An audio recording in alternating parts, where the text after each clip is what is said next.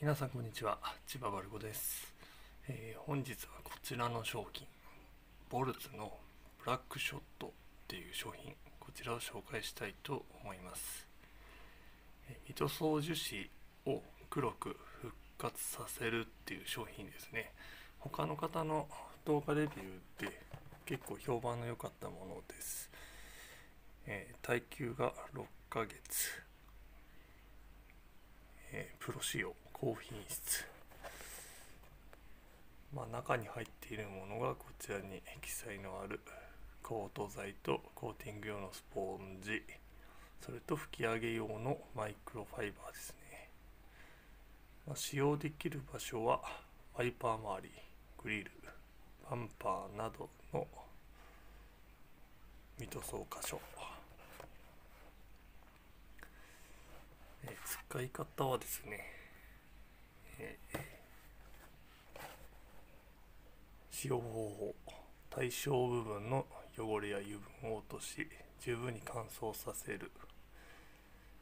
スポンジの柔らかい面にコート剤を適量取り均一に塗り伸ばしていく。作業部分ごとに行う。何度も塗り直したり時間をかけてしまうとムラになりやすい。塗装後は乾燥する前に付属のクロスでムラなく拭き上げてください、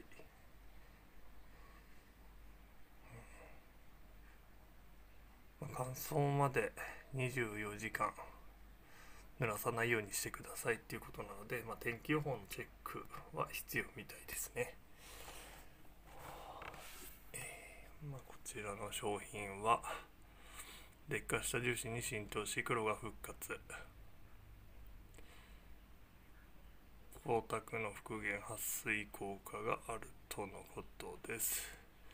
まあずっと読んでてもしょうがないのでこれから、えー実際に施工の方を開始したいと思います。はいそれでは今回の施工箇所なんですけれども、えー車のボンネットのフロントガラス付け根部分ですね。まあ、ここ横全部ですね。こちらに施工していきたいと思います。以前に別動画でですね、スパシャンから出てるタイヤワックスで施工した箇所になるんですけれども、まあ、そこから1ヶ月半ぐらい経ってもう白く戻ってきてしまってるのでそこをアルコールで今脱脂をしましてそこにこれから先ほどの商品ブラックショットを施工していきたいと思いますよいしょスポンジに。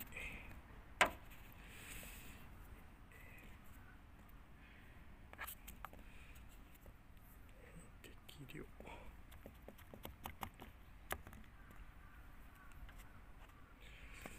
直接。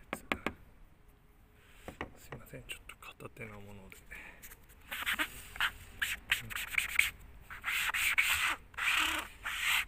うまくできてませんが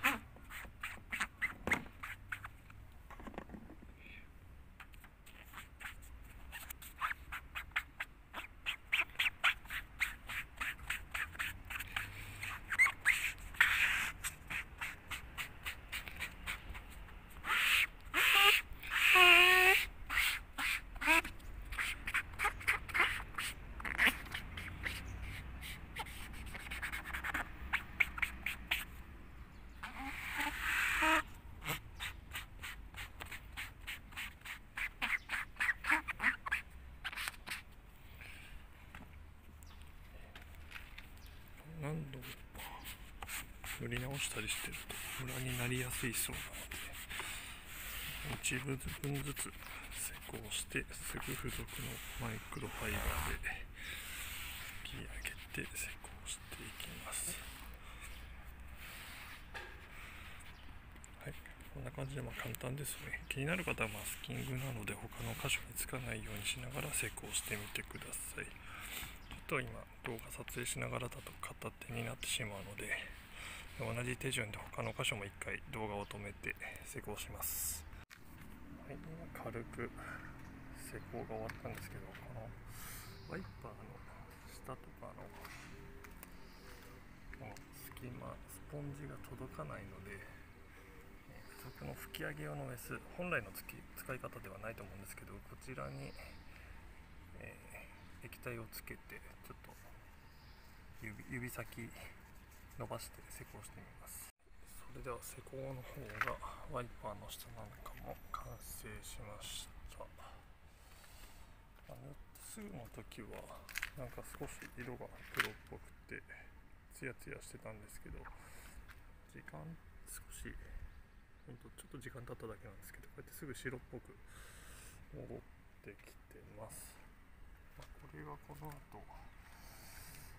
どう復活してくるかっていうところなんですけれども、はい黒さが復活して半年本当に持ってくれれば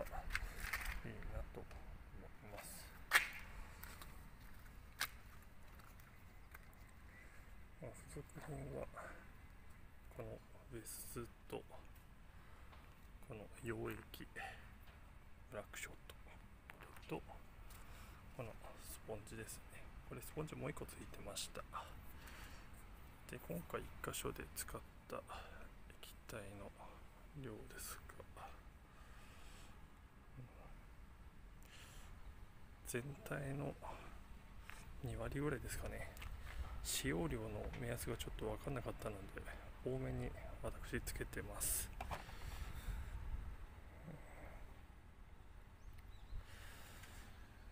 この2に書いてあるように、